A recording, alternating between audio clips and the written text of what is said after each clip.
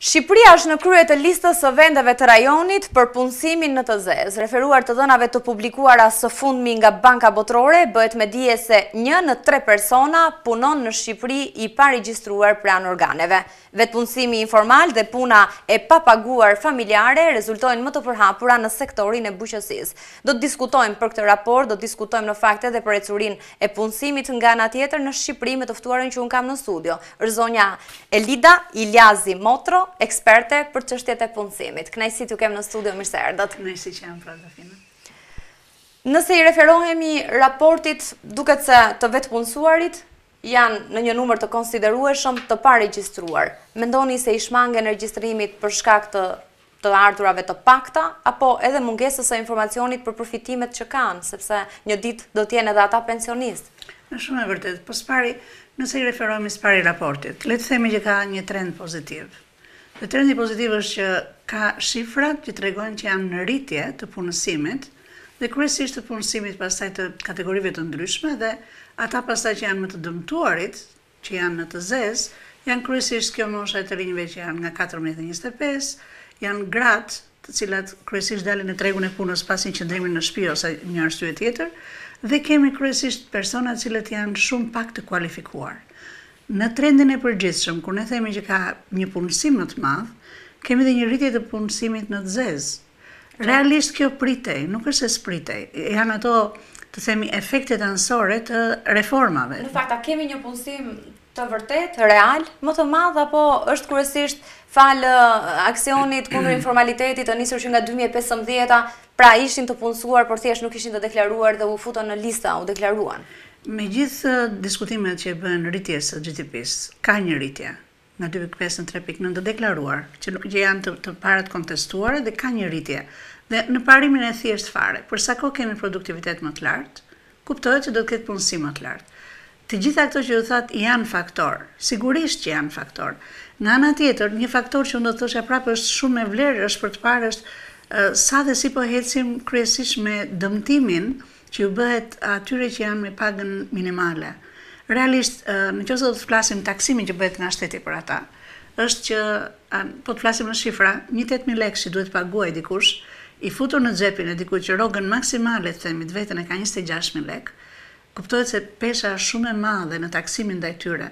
Kështu që unë kuptoj dhe kur bëhet ajo marrëveshja midis punëdhënësit punëmarrësit që do në të bardhë do në të zezë dhe zgjedh vetë personi, kuptohet që efektet nuk janë që dëmtohet vetëm ky person, po dëmtohemi ne të gjithë si shoqëri se kjo është një gryrje e përbrendshme ë, dhe të mendosh sot me largimin e njerëzve, të mendosh me rritjen e e jetëgjatësisë së njerëzve lavdi Zotit, prapë ajo që ndodh është që ne po gryejmë shoqërinë tonë nga brenda për shkak se ka një numër shumë të madh njerëzish që zgjedhin të punojnë në të zezë. Pastaj është ajo që thatë ju, janë këta njerëz që janë në zgrip të varfërisë. Se në momentin e parë kur këta shkojnë në në spitale, këta nuk marrin dot shërbimin se s'kanë kartën, në kalimin e kohës janë vite që ikin dhe këta nuk po ndërtojnë vitet për pensionin e tyre. Domethënë, dëmtimet janë të dyanshme në fakt. Po nga ana tjetër, biznesin çfarë e shtyn të jetë pjesë e tregut informal të punës? Unë besoj është pikërisht kjo që thamë. Një marrëveshje. Fund të ditës është një marrëveshje njerëzish. Dhe mendoni se kjo ndodh vetëm tek pagat minimale, tek ata të punësuarit në minimumin e lejuar ligjor? Kryesisht është aty. Unë mendoj që është aty për arsyen se edhe kosto e punës, po flasim për të marrë në punë këta që janë më pak të kualifikuar është më e lartë. për biznesin e vogël. Dhe i arsyeja është sepse fakti që ka shumë aty jashtë që presin të vijnë, ata logjika është që kur zgjedhin dhe gjejnë të duhurin, mundohen të gjejnë mënyrën që ta mbajnë të kënaqur.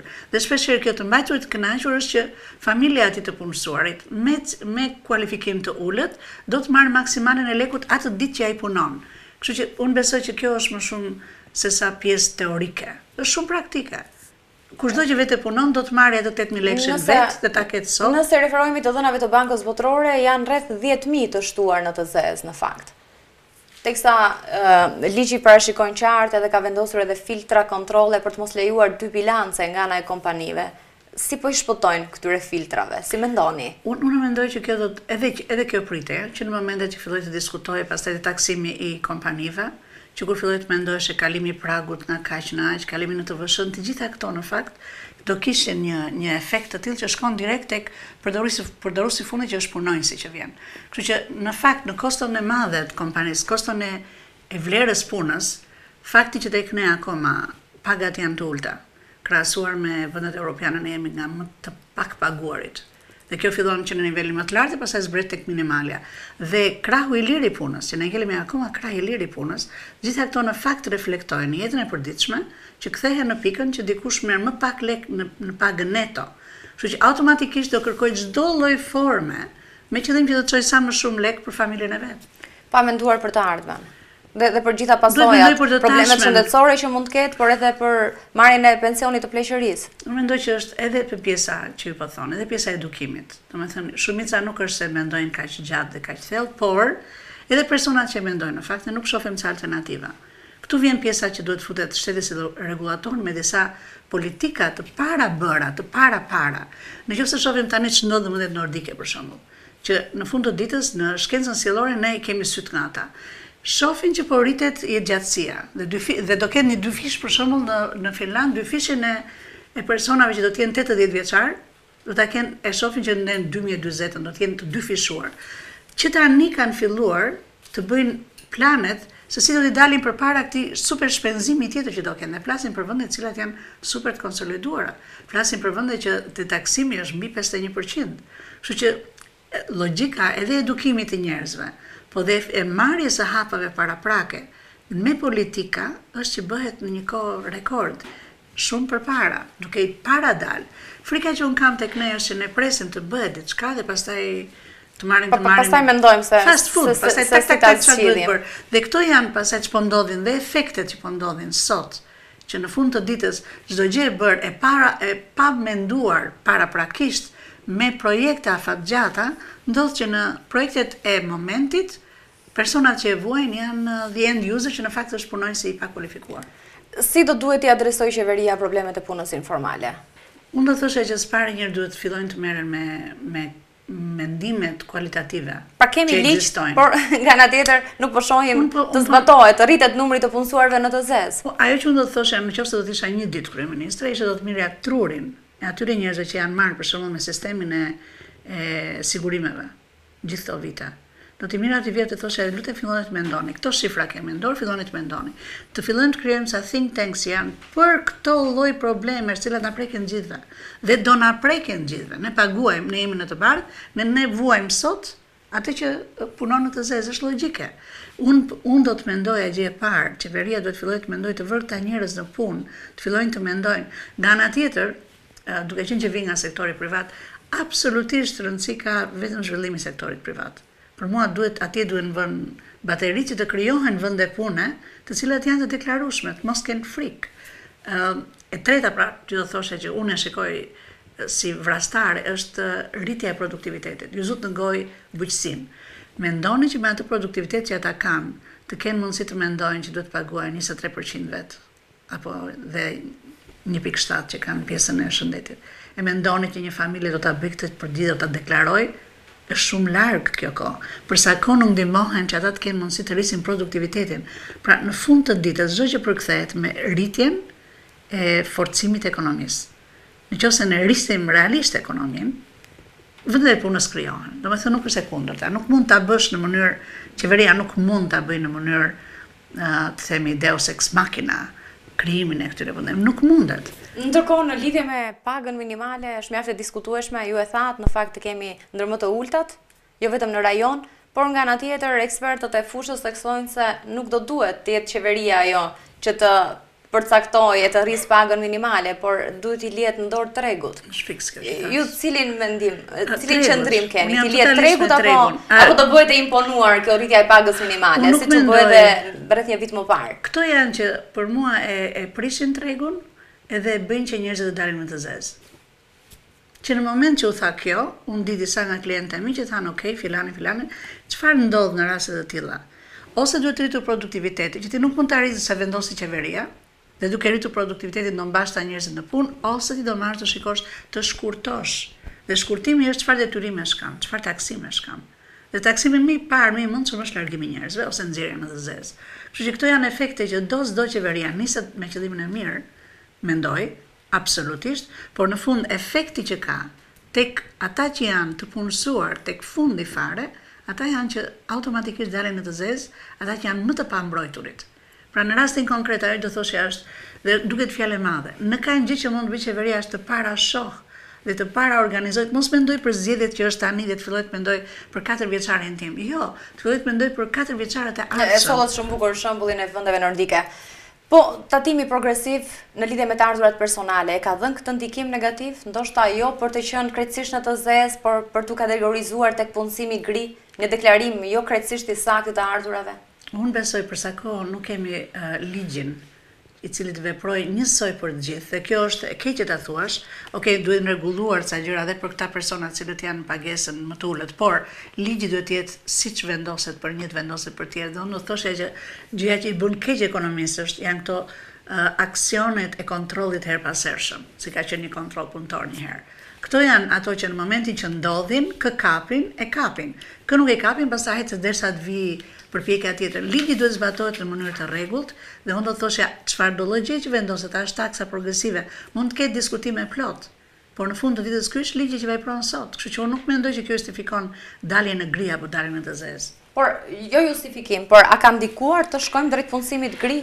Unë besoj që gjithmonë ndikon jo më shumë ligji që vendoset sesa mos zbatimi dhe mos vënia në punë e njerëzve të cilët janë detyruar të bëjnë zbatimin e ligjit, na pëlqen apo s'na pëlqen të gjithëve.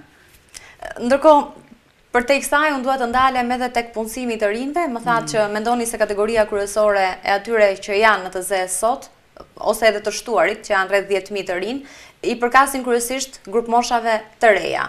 Kjo vjen për shkak të mungesës së kualifikimit apo edhe mos kërkesës së tyre për të qenë të deklaruar pa ditur ndoshta edhe përfitimet që do të kenë në të ardhmen. Është edhe një e drejtë ligjore në fakt. Shumë e vërtetë. Unë do të thoshe që janë të dyja këto gjë thatë ju. Edhe mos përgatitja e tyre dhe unë i vë shumë rëndësi edukimit të njerëzve. Mund të jetë edukimi fjalë e madhe, po është ta njohësh, t'i ngresh vetëdijen për çfarë i takon, çfarë duhet të kërkojë. Nga ana tjetër, fakti që në tregun e punës ka një mospërputhje midis ofertës dhe kërkesës, kjo automatikisht bën që, ngaqë është oferta më e madhe, shumë gjëra dhe t'i dish, shpesh herë bën sikur s'e di. I duhet ai vend pune, i duhet marrë të futet, janë kontratat e shkurtra që ndodhin, janë kontratat e e sezonit veror, kur shkojnë punojnë në plazhe, në të cilat shpesh herë po dëgjojmë gjithmonë e më shumë që se si ia dalin këto rezortet e mëdha që të kalojnë çdo lloj kontrolli. Dhe këta njerëz të punojnë aty katër muaj. Dhe në këto katër muaj të paguhen sikur thuajse kanë punuar një muaj dhe u thuhet do t'u jepen lekët dhe s'u jepen, këto janë raste që ndodhin çdo ditë. Këto janë raste pastaj që e keqja e kësaj gjëje është çik më e madhe sepse janë këta persona që duan të ikin me çdo kusht.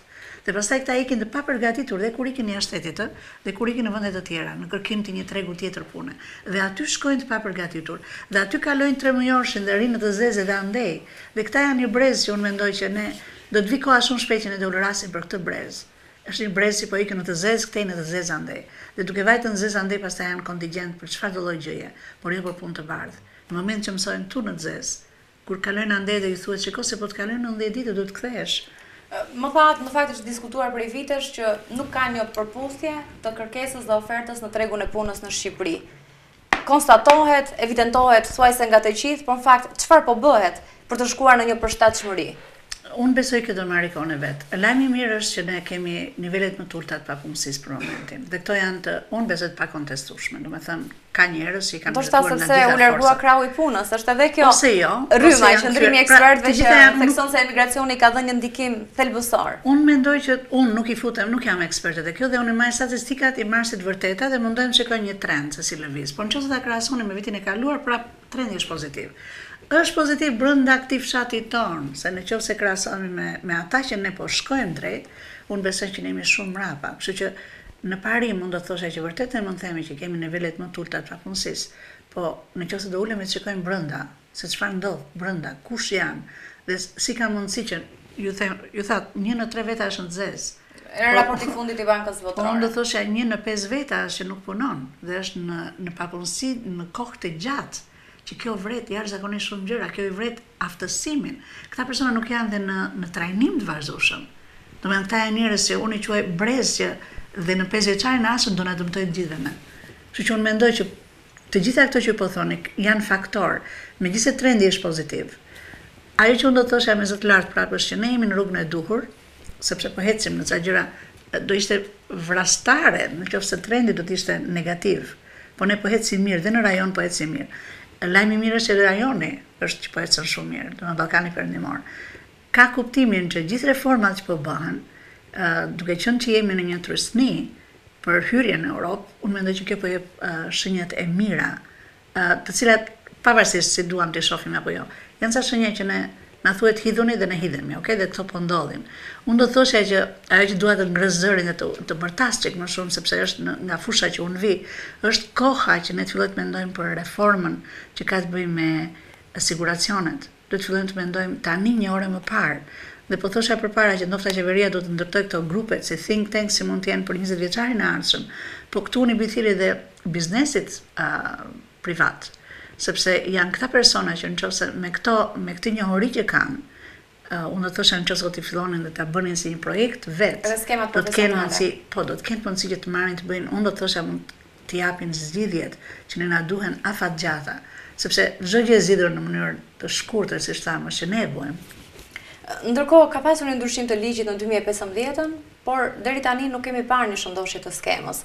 Mendoni se nuk është adresuar siç duhet? Ajo, natyrisht, po shoqërohet edhe me një rritje të moshës së daljes në pension për gratë. Derisa të shkojnë gjashtëdhjetë e pesë vjeç, më pas do të ketë një rritje sërish për të dyja gjinitë, burrat dhe gratë deri në gjashtëdhjetë e shtatë vjeç, ndërkohë që ka edhe një rritje të periudhës së punës, pra për të arritur për të marrë një pension të plotë, rritet në mënyrë progresive me katër muaj çdo vit.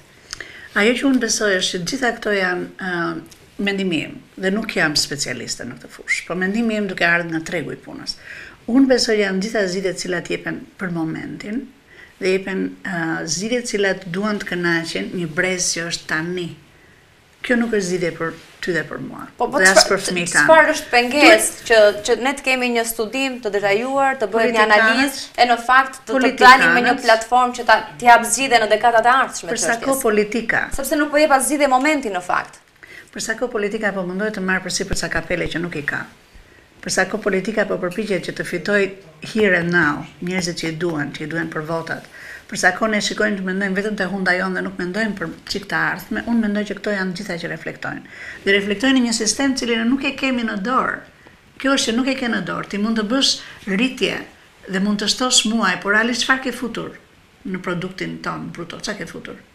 Kështu që reale për mua, duke mos qenë specialiste, ajo që unë mendoj është duhet t'i japim mundësinë këtyre specialistëve që kemi, miq tanë si Koço dhe të tjerë, të cilët kanë tru dhe kanë një përvojë të jashtëzakonshme, por që njohin dhe çfarë bëhet në vende të cilat janë më të përparuara.